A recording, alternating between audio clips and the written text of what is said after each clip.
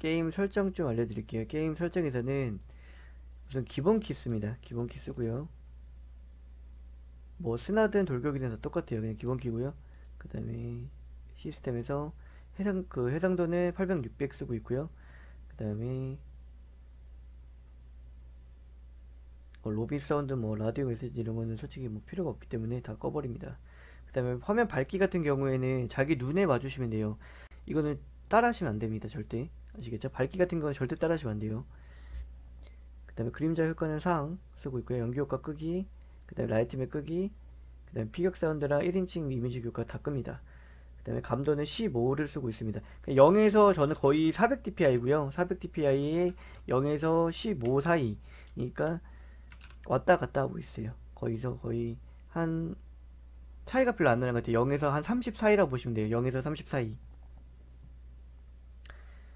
이렇게 쓰고 있습니다. 제가 소개를 해드릴게요. 우선 지금 QCK 이 QCK고요. QCK 장패드를 제가 하나 구입을 했어요. 이번에 패드가 크죠? 이 편하더라고요. 그래서 장패드를 하나 구입을 했고요. 그 다음에 마우스는 EC2A EC2A 이렇게 하나 마우스 쓰고 있고요. 그 다음에 bungee대 마우스 bungee대 쓰고 있습니다. 그 다음에 키보드는 M스톤이에요. M스톤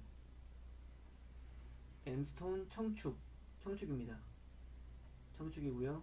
그 다음에 그 다음에 그 모니터는 알파 스캔을 쓰고 있습니다. 원래 제가 벤큐 모니터를 썼었는데요. 알파 스캔 옛날 모니터로 그냥 다시 바꿨어요.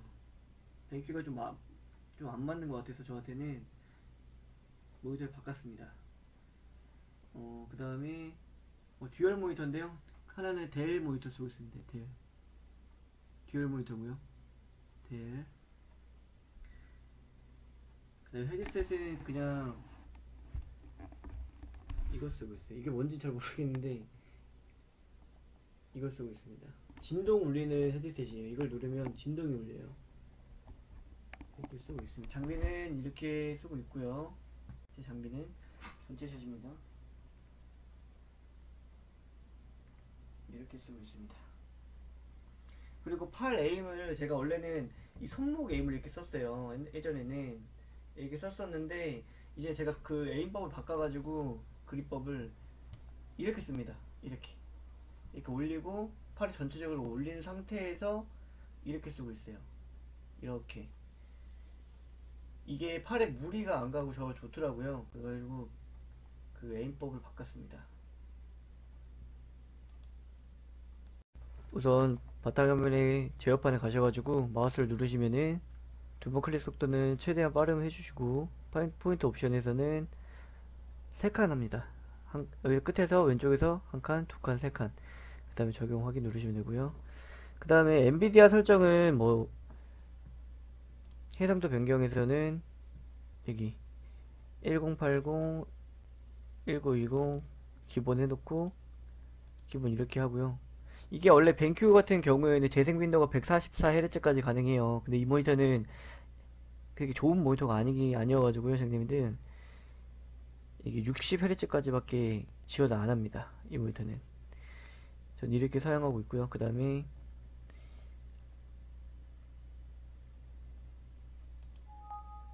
여기 바이 digital vibrance 100으로 하고 있어요. 이게 좀 눈이 많이 아플 수도 있어요. 처음 하시는 분들은. 근데 이걸, 이걸 하면 좀 바나나가 좀 탄이 좀 잘 보인다 해야 되나? 그런 느낌이 있어서 이렇게 100으로 하고 있고요. 그 다음에 바탕화면 크기 및 위치 조정에서는 전체 화면 해놓고요.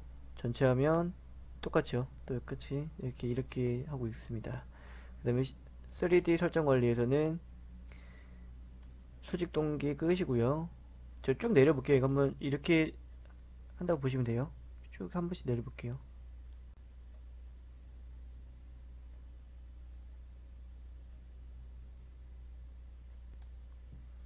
이렇게 사용을 하고 있고요. 그 다음에 키보드는 뭐 최대한 이렇게 올려주시고 그 다음에 적구성 센터에 가셔가지고 키보드를 사용하기 쉽게 설정 그 다음에 필터 키 설정 다시 반복기 이렇게 하시고 저는 맨 위에 거 0.0, 0.3, 0.3 이렇게 하고 있고요.